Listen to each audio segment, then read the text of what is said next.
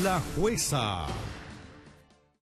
Bienvenidos a la jueza, la demandante, la señora Marta. Muy buenas tardes. Buenas tardes. Y los demandados, la señora Judith y don Julio César. Buenas, tardes. Cuénteme, señora, ¿quién demanda y por qué? Demando a mi mamá para saber la paternidad exacta mía. Yo quiero saber quién es mi papá. ¿Por qué tiene dudas? ¿O no, o no, no tiene, no aparece en su certificado de nacimiento quién es su padre? Eh, lo que pasa es que mm, desde su misma boca ella me contó de que ella tenía relaciones con los dos hermanos y entonces por lo cual de hecho Ernesto me reconoció y, y ella él le pidió, le pidió un ADN que ella misma me lo contó que le pidió un ADN ella se negó y le dijo ya entonces perfecto tú me entregas la casa eh, en parte cerrada y nos, divorciar, nos divorciamos. Entonces va y... ¿Cómo le pidió un ADN cuando quedó embarazada de usted? Claro. ¿Y había ADN en esa época? Yo no sé. No, no. Eso es lo que ella me contó a mí. Después llegó un momento No, yo que creo, perdón, yo Usted creo... tiene 28 años, ¿cierto? Sí. No, yo creo que es otra cosa. Eh, el papá de quien la crió, en este caso, a ver, la historia fue así. Yo me casé con don Ernesto Colipi. Ya. Yo no podía tener hijos y me hice cuatro operaciones para lograr un hijo, embarazo, ¿ya? Un embarazo. En el Hospital Clínico J. Aguirre, que ahí está estipulado todo lo que es Sus de- controles. Esos su- controles y de aquel le sacaron el espermio para introducírmelo a mí, puesto que ella es medio vitrio. ¿Ya? Pasó lo siguiente, que como a los dos años yo me di cuenta que esa persona no servía porque era muy al- bueno para alcohol. Pero ya había sido inseminada con espermios de él. Exacto, de él. Ya. Pero anteriormente yo fui casada a los 13 años con un peruano. Entonces yo cometí bigamia al haberme casado con él. ¿Ya? ¿Se había casado con este señor peruano acá en Chile? Acá en Chile, en Lima y por relaciones exteriores. Ya, se había inscrito su matrimonio en Chile y en Lima. Completo. Ya, válido. Y nunca se divorció, nunca, se Nunca, anuló en esa hasta época. este momento. En esa época nunca se había anulado. No. Y después, cuando don Ernesto contrae matrimonio en el civil también. Exacto, acá en, ¿En qué año Santiago. fue eso? y con- en el año 85. Un año antes que esta señora naciera. Claro. Ya. Yo quería formar un matrimonio como toda persona. ¿Y usted y estaba consciente que no podía casarse porque tenía un vínculo anterior? Sí, sí, lo sabía. Ah, sea, Pero a mí como- no me gusta convivir. Pero no puede tener bigamia, pues señora. Pero no me gusta convivir. Bueno, entonces anula el matrimonio anterior. No se pudo porque tenía que tener... Entonces no puede casarse. Pero me casé.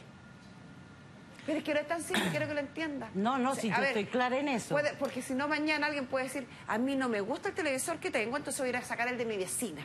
No, no, no, no.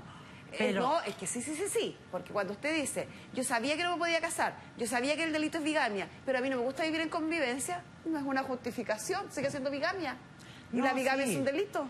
Y por lo mismo, cuando yo le pedí la nulidad del matrimonio, Se pide antes de casarse. o sea, yo le pedí a Ernesto que la situación ya no podía más, él me, me- a ver, como dijimos, no, no estafar, sino que se aprovechó de la situación y yo tenía mi casa y me dijo, yo te doy la firma siempre y cuando me entreguen la casa a puerta cerrada. De lo contrario, yo te demando por vía. Ya, pero me está hablando del segundo matrimonio. Ah, ya, y si no la demandaba por bigamia. Exacto. ¿Y qué hizo? Le entregué la casa. Me dio la firma y anulé su ma- el matrimonio. Y ahora está casado con el señor peruano. Sigo siendo casada, por desgracia, con el peruano. ¿Y dónde está este señor peruano? En Lima, ¿Le consta que está en Lima? exacto. ¿Cómo le consta? Por mi hija mayor. ¿Tuvo hijos con él? Sí, ¿Y su hija mayor es hija de él? sí. Ah, ella ve al papá entonces. Se comunica. Entonces no diga por desgracia, pues señora, sí. Padre de su hija. Bueno, ¿Y por qué no se ha que... divorciado? la- la ¿Por qué cosa- no se ha divorciado de él? Porque tengo que tener un abogado en Lima, tengo que tener un abogado acá en Santiago. Entonces, Mm, No necesariamente, porque si está inscrito acá en Chile el matrimonio, él podría, por mandato, otorgarles poder suficiente a un abogado acá en Chile y tendría un- dos abogados acá en Chile. pero en este momento, primero se lo pedí. Él se negó. Después me lo pidió él, yo me negué. ¿Y no se ha vuelto a casar? No me he vuelto a casar. ¿Y por qué se negó usted? Me negué porque si la primera vez él me lo pidió, él no me ayudó absolutamente nada con mi menor. Yo me la traje muy pequeña, Ya. ¿ya? Entonces, después conocí a Ernesto y me casé, como le explicaba. Sí, pero no, pero ¿por qué le negó la segunda vez la petición de divorcio? Porque no valía la pena. A usted no le gusta vivir en convivencia y no va a querer casarse, después va a ser bigamia de nuevo. Porque me estaba separando de Ernesto. ¿Para qué me iba a Ah, pedir ya. la nulidad? Yo no sé, no tengo cómo Sí, saberlo, eso. porque yo no la conozco. No, por eso, Por eso me estaba separando de... Ya había cometido el error de, de haberme casado. Ya. Ya. ¿Y qué cosa- tiene que ver todo eso que me cuenta con que La esta cosa señora es que- diga que no sabe quién es el padre? Ya, la cosa es que cuando yo le entregué la casa a Ernesto, a Marta estaba pequeña, entonces mi cuñado dijo, ¿sabe qué cuñado? Usted no se puede quedar en la calle porque va llevando una sobrina mía. Y me empezó a ayudar. ¿Usted estaba embarazada o estaba No, ella? ya ella tenía dos Ah, ya. años, dos años y ocho meses. O sea, se- duró poco casada entonces.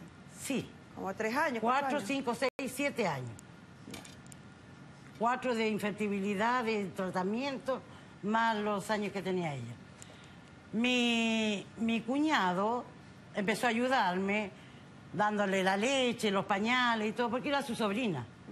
Pero la familia empezó a hablar, tanto la mía como la de él, hasta que llegó un momento en que sus padres lo echaron de su casa, Porque pensaron que tenía una relación con usted que pensaban que tenía una relación conmigo. y no la tenía. No la tenía, Nunca la tuvo. nunca la tuve.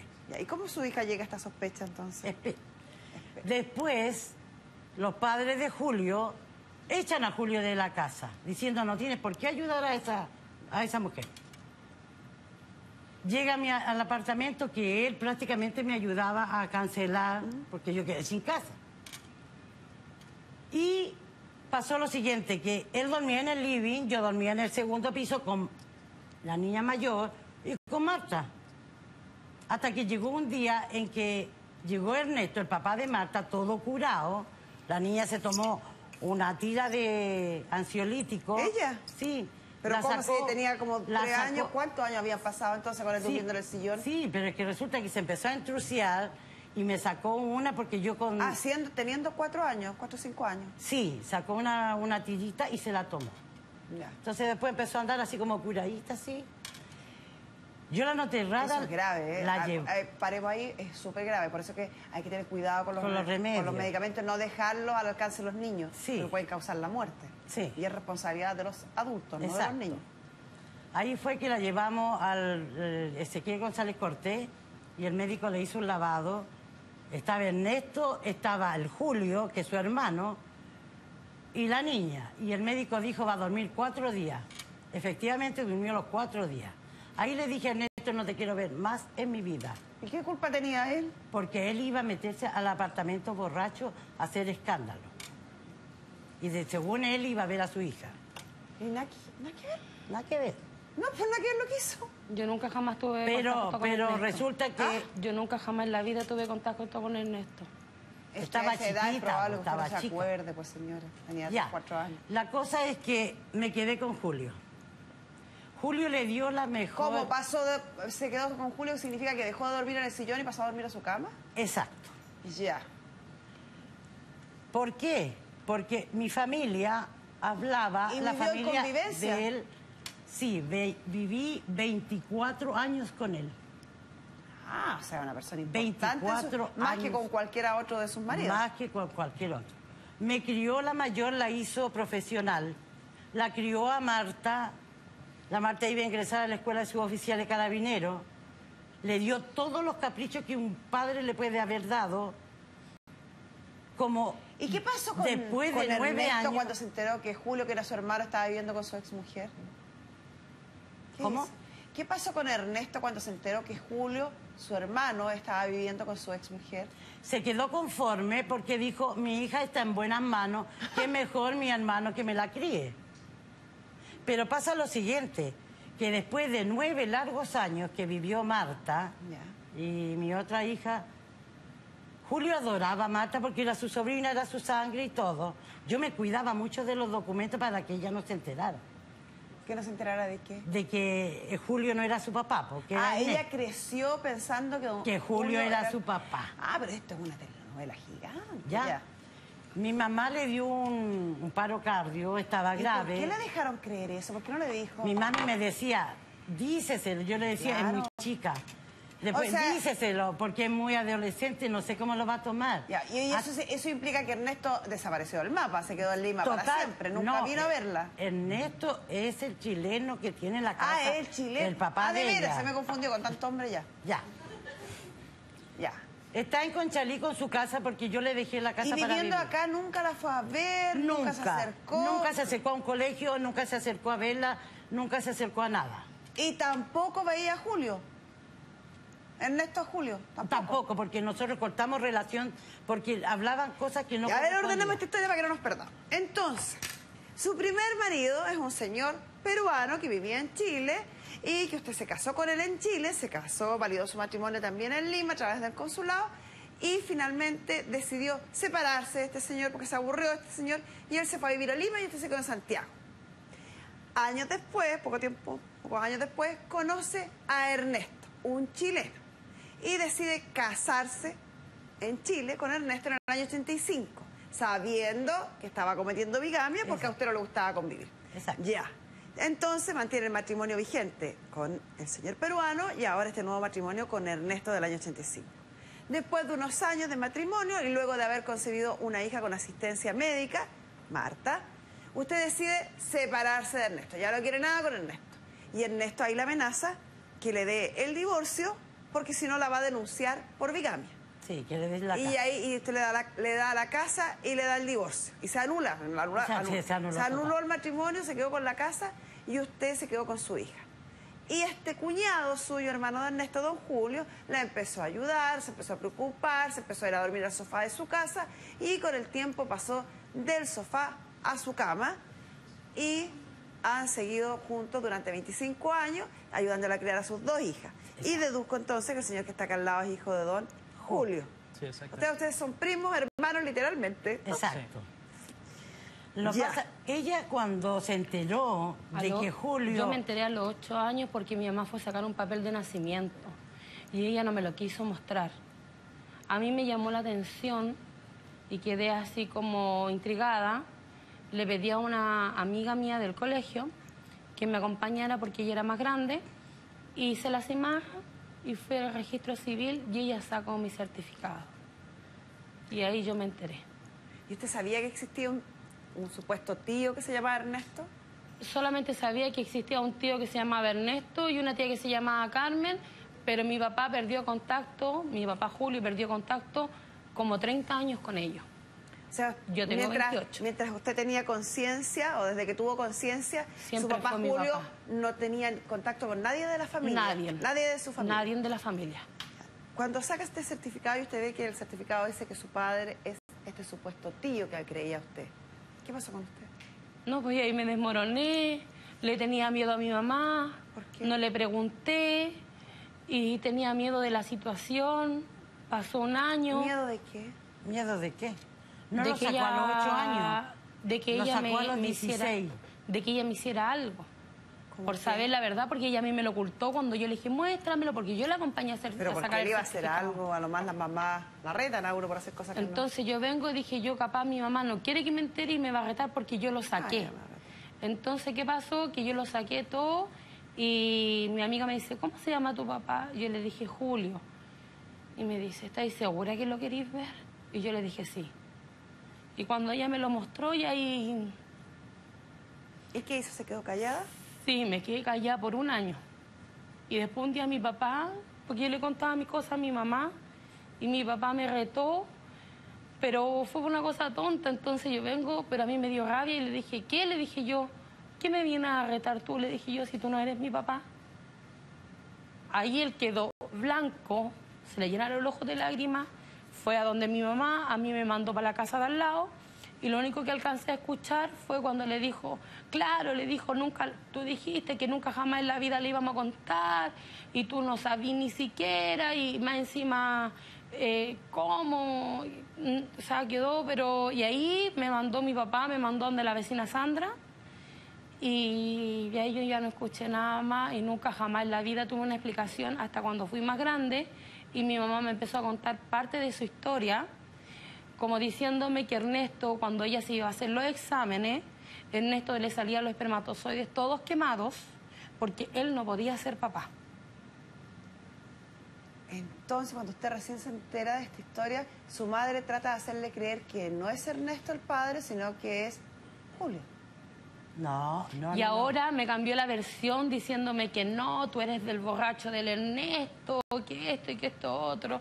Porque ella lo que piensa, los dos, es que mi papá dejó una gran suma de dinero. Por ahí va la cosa. Se murió, ¿quién? Murió mi papá Julio. murió, Julio. Julio. Mi papá murió. Julio murió. El papá. el pa- el Bueno, mi tío. marido. ¿Hace Mi tío murió años que murió? Hace- el 6 de diciembre del año pasado. En meses. Entonces lo que pasa es que yo a ella le digo, a mí no me interesa la plata, lo que a mí me interesa es saber la verdad. Mira, lo único que yo quiero es que si Ernesto es mi papá, no importa. Si Julio es mi papá, quiero que me cambien el certificado de nacimiento con su nombre.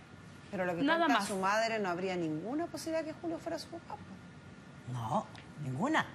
Ninguna. Es que yo, de hecho, o sea, a mí, O sea, es mi bien papá... fácil, es bien fácil esto, porque su, su, su madre dice que supuestamente la versión de ella es que usted fue producto de una inseminación artificial. Sí. Sí lo fui. No hay ni una posibilidad entonces de que esta señora haya andado, haya andado con los dos a la vez. O hay- los, los procedimientos médicos de haber quedado registrado el nombre de la persona que se hizo todos los exámenes, que hizo la donación de espermio, que concurrió al médico, que estaba presente Sí, en la pero inseminación. él- Y todo eso es con cédula de identidad. Entonces, no hay ninguna duda al respecto. Pero en el, en el JJ Aguirre sale que él tenía los espermatozoides todos quemados, él no podía ser Por eso, por, esa es la razón por la que se llega a la Por la cual pues. Mi años. papá Julio me contó de que él no quería fracasar en su matrimonio, y ella también me lo contó, que él no quería fracasar en su matrimonio porque él estaba con una persona que se llamaba Verónica, en la cual mi mamá estaba con Ernesto, y él le pidió el favor a ella de que le enseñara a tener relaciones sexuales. Y se juntaban, ¿Cómo fue lo que me dijo? y se juntaban ¿Quién le pidió a quién que le Sí. ense- Su tío Julio quería que su mamá le enseñara a él. No, señora Nicolín Tellado. Una persona de la familia a mí me dijo, me llamó todo, yo quedé así como extrañada. Me pidió que yo no, no le dijera quién era. Yo a usted se lo puedo decir afuera, o sea, privadamente. Eh, me dijo, no, me dijo, ¿sabes qué? Averíguate bien, hácete un ADN, me dijo, porque tú no eres hija de Ernesto, tú eres hija de Julio. A ver, Y ahí yo al tiro hablé con mi mamá, después lo pensé hartos días todo, y la llamé para mi casa y le dije yo lo que me habían dicho y que yo quería hacerme un ADN. Entonces yo vengo, eh, yo vengo y le digo ¿Qué es para usted hacerse sinceramente, un ADN, señora? ¿Ah? ¿Qué es para usted hacerse un ADN? Se supone que es sacar sangre o saliva de ambas personas. ¿Y quién es la otra persona? Es que se supone que a mí me dijeron que yo también me lo podía hacer con Julio César.